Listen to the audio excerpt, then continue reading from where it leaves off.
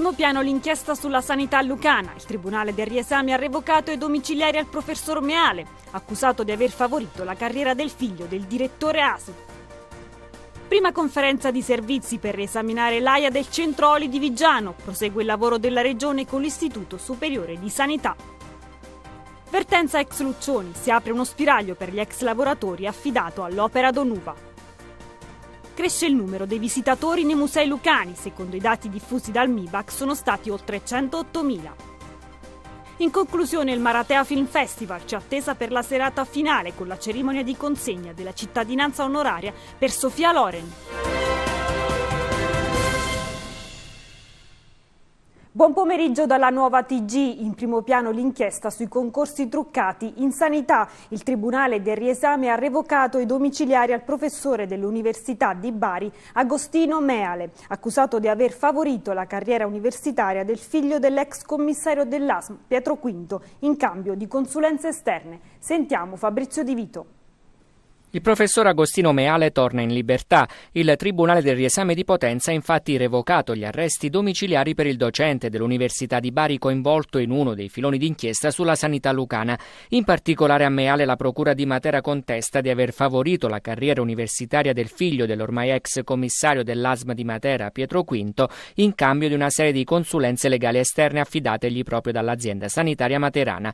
Il riesame ha inoltre annullato l'obbligo di dimora Roberta Fiorentino, la cui posizione petizione riguardava la vicenda relativa all'affidamento del servizio di trasporto a chiamata dei pazienti dell'ASM, ovvero il filone dal quale poi è partita l'intera inchiesta che ha svelato i quattro concorsi che sarebbero stati falsificati per favorire candidati segnalati dal governatore lucano Marcello Pittella ai domiciliari dallo scorso 6 luglio con l'accusa di falso e abuso d'ufficio in concorso. Il riesame ha ultimato la discussione di tutti i ricorsi presentati dalle difese delle 30 persone raggiunte da misura cautelare nell'ambito dell'operazione denominata il suggello Castello. Ad oggi sono soltanto cinque le misure cautelari decadute. Dopo il deposito delle motivazioni, il cui termine è fissato in 45 giorni, le difese degli indagati ancora sottoposti a misura potranno presentare ricorso in Cassazione, ma l'udienza davanti alla Suprema Corte non si svolgerà prima di metà settembre.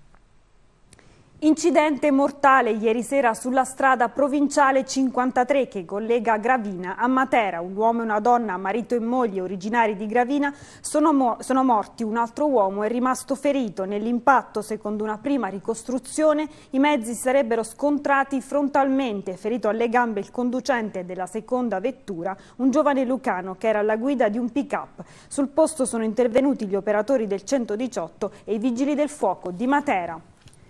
Prima conferenza dei servizi per riesaminare l'AIA relativa ai gas in atmosfera nel centro Oli di Vigiano. In parallelo prosegue il lavoro della Regione con l'Istituto Superiore di Sanità. Ci dice di più Michelangelo Russo.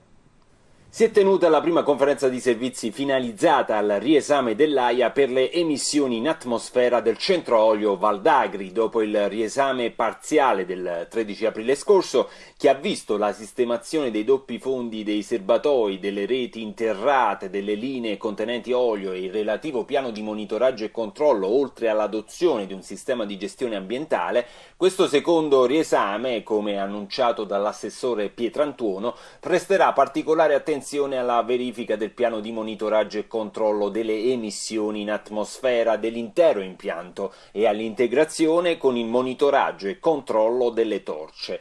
Il procedimento avviato consentirà di verificare la rispondenza e l'adeguatezza del piano di monitoraggio e controllo in relazione alla specificità dell'impianto e agli impatti sulla matrice aria inoltre di avere un sistema di controllo sul gas flaring che contribuisce alle emissioni in atmosfera e influisce sulla qualità dell'aria e di integrare il monitoraggio sulle emissioni odorigene e fuggitive, favorendo un'analisi del quadro emissivo del COVA determinante per la valutazione degli impatti e delle ricadute al suolo dei principali inquinanti immessi in atmosfera.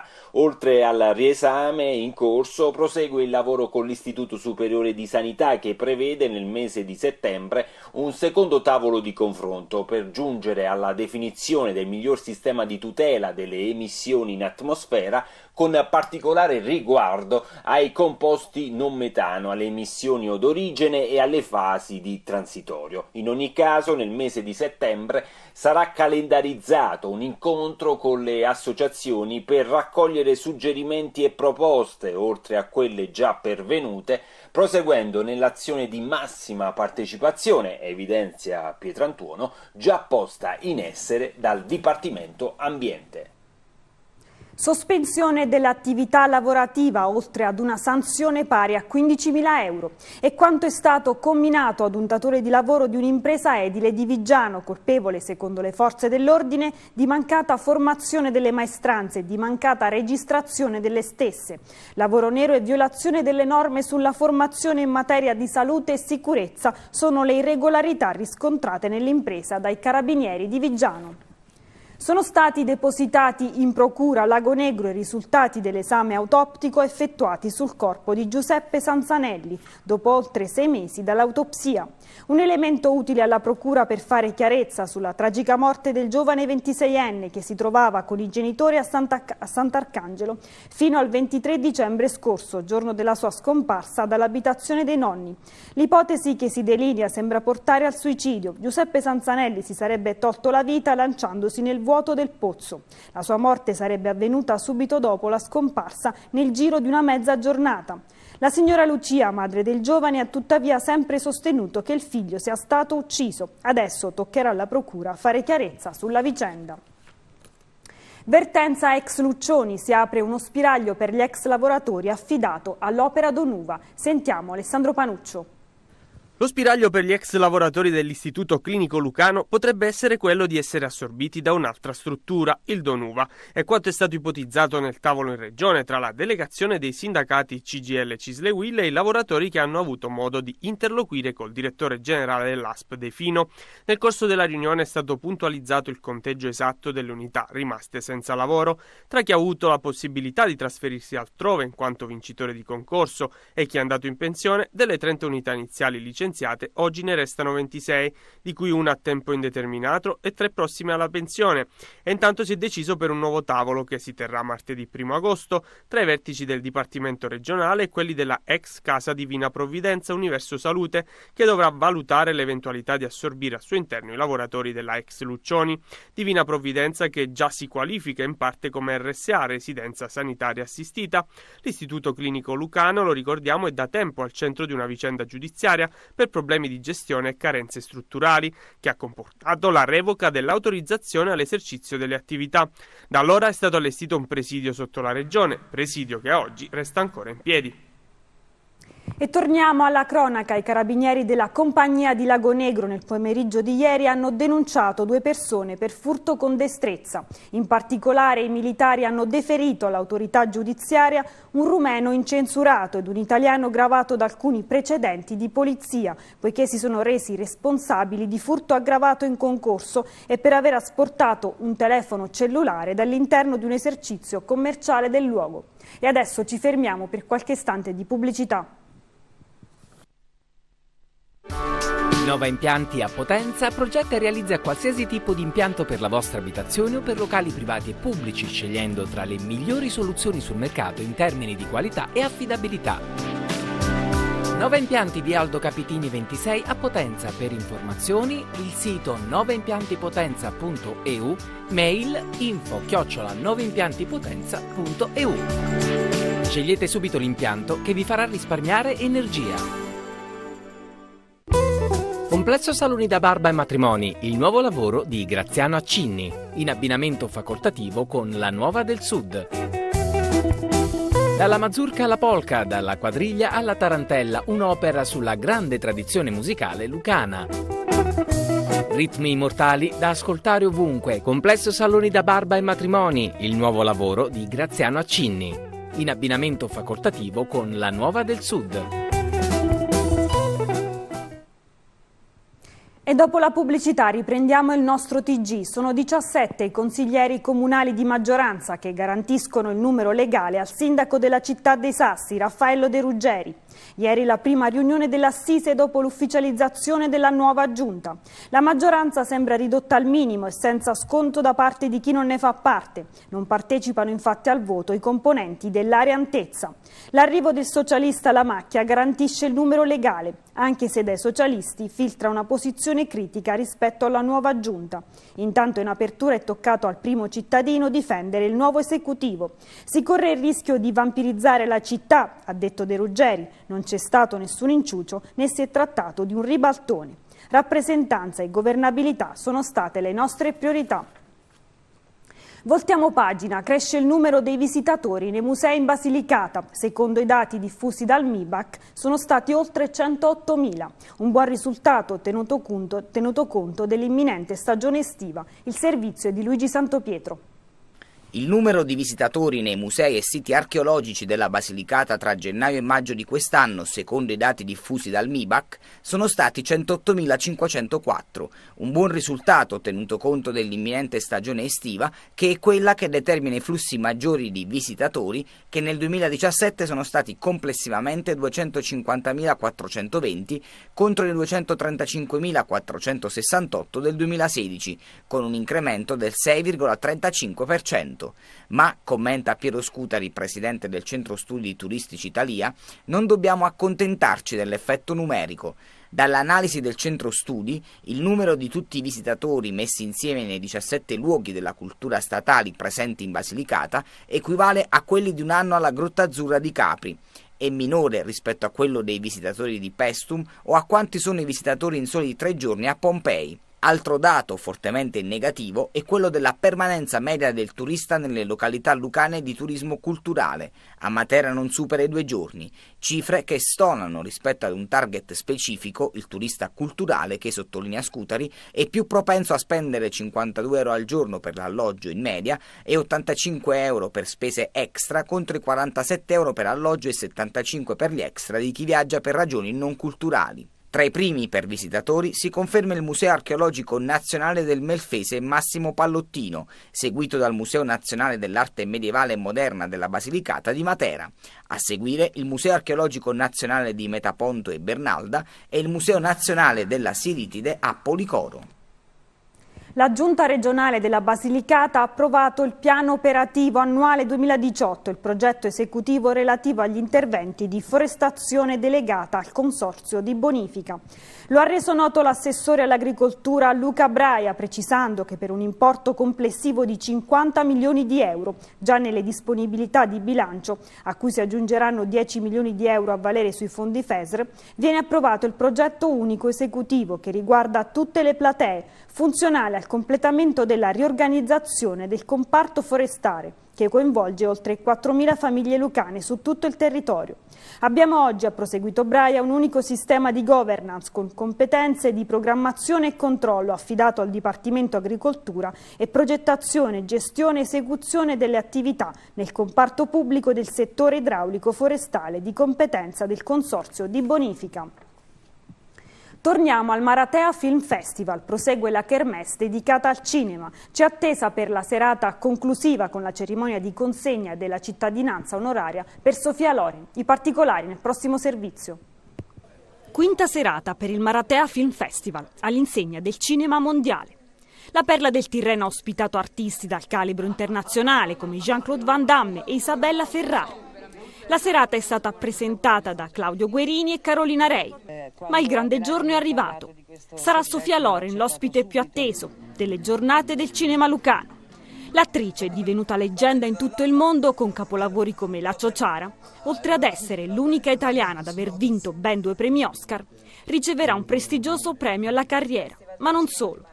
Per l'occasione, nel Teatro sul Mare dell'Hotel Santa Venere, le verrà conferita la cittadinanza onoraria della città di Maratea, direttamente dal sindaco Domenico Cipolla, per essere stata incarnazione del riscatto del nostro paese, dell'Italia che risorgeva dalle tragedie e dagli infiniti dolori della guerra, della fame e dei bombardamenti, diventando l'attrice italiana per antonomasia riconosciuta dallo star system hollywoodiano quale magnifica esponente dell'arte cinematografica. Musica, che la portò a girare lungometraggi in tutto il mondo. Divenne diva, sapendo però trasformarsi nella grandiosa rappresentante di un'Italia laboriosa, affascinante e bella.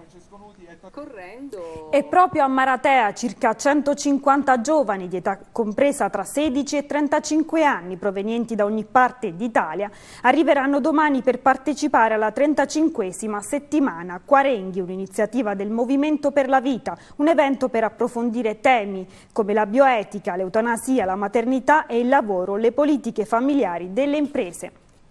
Stagione Teatri Uniti di Basilicata, Rapsodia è il titolo dello spettacolo andato in scena a Marconia di Pisticci nell'anfiteatro romano, un mix di musica, gestualità e gag. Vediamo i particolari nel servizio di Rocco Romanelli.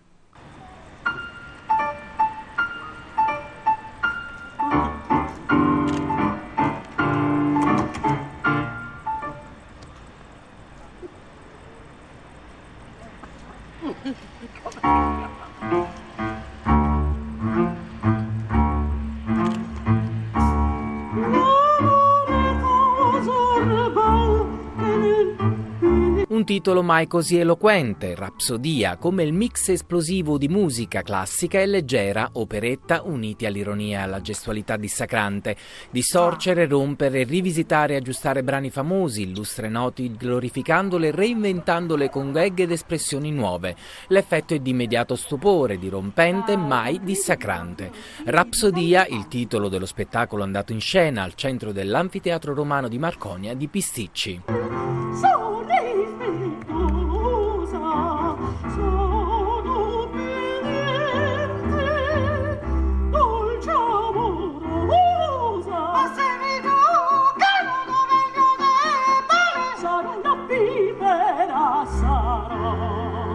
Sulla scena il mezzosoprano Donna Olimpia insieme ad artisti di grande talento che hanno reinterpretato l'opera, l'operetta, la musica classica e quella leggera.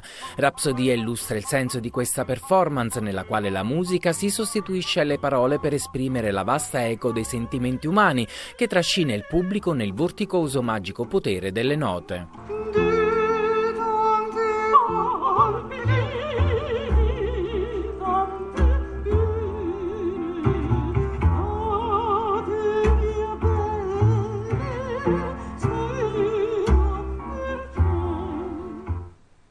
E adesso passiamo allo sport, serata storica per il Picerno che esordirà nella nuova stagione e lo farà in Team Cup. La formazione melandrina affronterà stasera al Pinto la Casertana, formazione di Serie C. Per i Lucani si tratta di una partita da vivere intensamente a prescindere dal risultato finale vista la differenza di categoria e la qualità tra le due squadre. L'obiettivo dell'11 di mister Giacomarro è quello di provare a fare bella figura contro i Falchetti. Negli scorsi giorni il neotecnico ha approfondito dell'amichevole contro la Virtus Francavilla per provare il modulo. Probabile il sistema di gioco che più utilizza il 3-5-2 che potrebbe mutare in 4-4-2. Sarà per Giacomarro anche un ritorno in una piazza piazza che gli è rimasta dentro nel 1991 fu uno dei protagonisti della promozione in B dei Falchetti. Ciclismo, Tour de France, Domenico Pozzovivo vicinissimo alla mini impresa, essere il miglior italiano nella stessa stagione al Giro e al Tour, vent'anni dopo Pantani. Ieri quattordicesimo all'arrivo nell'ultima tappa pirenaica, il Lucano è ora diciottesimo nella genera generale e potrà difendere i circa 5 minuti di vantaggio su Damiano Caruso, ventiseiesimo in classifica, oggi penultima tappa 31 km a cronometro, domani passerella finale. Questa era l'ultima notizia, io vi ringrazio per essere stati con noi e vi lascio alla rubrica degli eventi.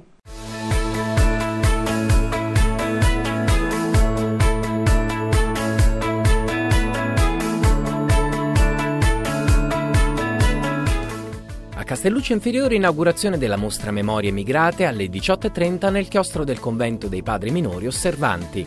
A Lavello in piazza Enrico Mattei appuntamento con la 24esima edizione di Mietitura e Trebbiatura. A Montescaglioso Notte Bianca 3.0 in via D'Alessio, via Garibaldi e lungo il centro storico. A Muro Lucano, prima giornata della sesta edizione del Festival della Canzone, ospiti Mario Rosini, Chicco Paglionico, da Zelig e Zulu dei 99 Posse.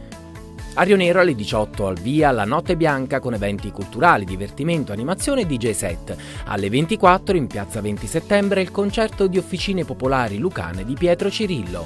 A Brienza, alle 20.30, in Piazza Unità d'Italia, si presenta la raccolta di poesie La corazza di Ettore di Guido Lopardo. A Lago Pesole, dalle 20.30, terza giornata del Castle Beer Festival con la Brexit Band e Piervito Grisù in concerto. A mezzanotte disco sotto le stelle con DJ Zeg. A Maratea, decima edizione della Kermesse cinematografica, le giornate del cinema ospite Sofia Loren. A Castelmezzano, in piazza Caizzo, giornata inaugurale della prima mostra mercato del tartufo lucano, si replica il giorno successivo. A Baragiano Scalo, alle 21.30, cover band di Pino Daniele, Pino a metà.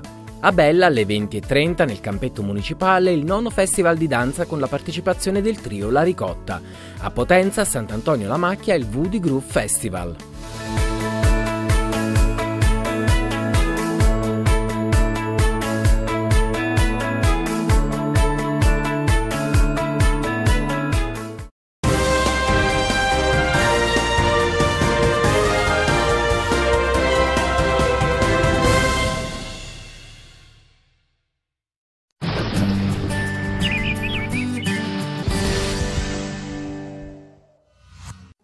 Bentrovati da Nikos di Trebi Meteo, insieme diamo uno sguardo alla tendenza per il fine settimana perché l'alta pressione in rinforzo sulla nostra penisola, il sole che non mancherà, anche la mappa delle precipitazioni ci fa vedere solo verso sera qualche spot temporalesco sull'arco alpino, il Piemonte occidentale e alcune zone montuose del centro-sud, ma altrove veramente poco da segnalare, grafica della nuvolosità con cieli in gran parte sgombri da nuvolosità, solo qualche nube alta di passaggio sul nostro settentrione. E infine l'ultima grafica, più che altro per vedere le temperature, perché sarà una giornata di piena estate, punta anche di 35 gradi sull'Emilia Romagna, eccoli qui, i temporali di calore sulle nostre montagne. Dettagli come sempre sull'app di Trevi Meteo. Nel pomeriggio, sulle coste, bel tempo, con cieli quasi sereni. In montagna, nubi irregolari con deboli temporali.